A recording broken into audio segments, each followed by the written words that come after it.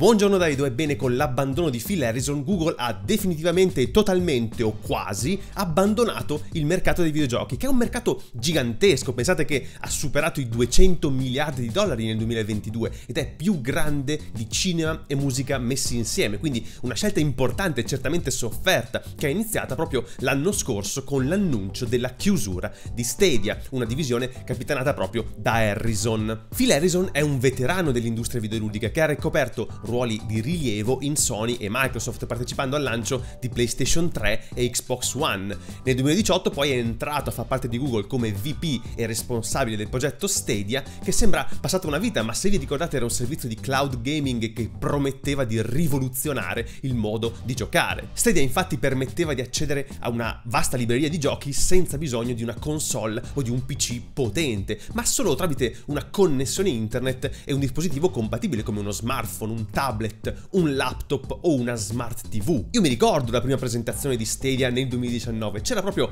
Phil Harrison sul palco introdotto da Sundar Pichai e tutti i presenti e chi guardava in streaming erano a bocca aperta. Se vedete il video che adesso vi sto riproponendo qui, si sentono continuamente gli oh del pubblico perché stavamo assistendo a una cosa incredibile, specialmente quando un tecnico porta un tavolino con vari device sopra, un Chromebook, uno smartphone, un PC di fascia bassa e Harrison gli fa iniziare iniziare una partita ad Assassin's Creed sul primo e questo poi in maniera del tutto fluida passa allo smartphone e riprende a giocare esattamente dallo stesso punto in cui aveva lasciato poco prima. E la stessa cosa poi con il PC aprendo un browser. Stadia sembrava avere tutto per sfidare PlayStation e Xbox, ma purtroppo non ha saputo conquistare il pubblico e anche gli sviluppatori. Tra i motivi del fallimento ci sono stati problemi tecnici, la scarsa offerta di giochi esclusivi, la concorrenza di altri servizi simili come GeForce Now di Nvidia, ma soprattutto la mancanza di una visione chiara da parte di Google. E infatti a settembre 2022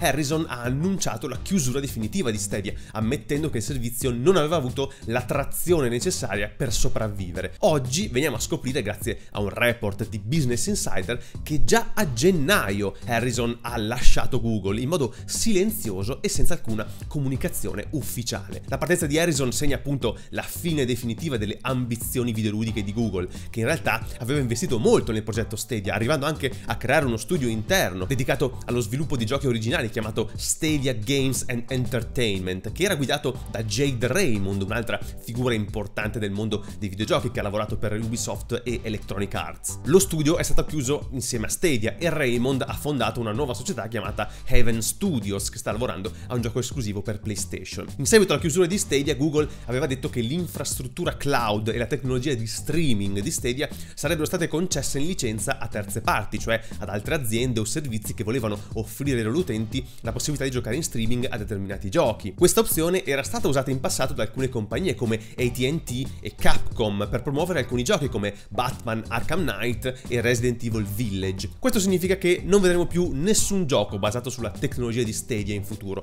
a meno che Google non cambi idea, ma le notizie dell'abbandono di Harrison direi che mettono una pietra tombale abbastanza abbastanza definitiva. Al momento tuttavia esiste un'unica piccola fettina di Google dedicata al mercato del gaming ed è una divisione chiamata Google Play Games Services che offre strumenti e servizi per gli sviluppatori di giochi mobile come le API per la funzionalità social, il cloud saving, le statistiche e i trofei. Ed era tutto per questa mesta notizia che mette un ulteriore dito nella piaga, pensavamo di aver superato il trauma della chiusura di Stadia ma ogni volta è una sofferenza. E vabbè. Ah, visto che siete arrivati fin qui, siete probabilmente la nicchia affezionata di pubblico. Volevo rispondere a una critica che ultimamente sento spesso, cioè che non guardo in camera così, e leggo tutto. Sì ragazzi, leggo tutto, mi scrivo sempre l'intera puntata.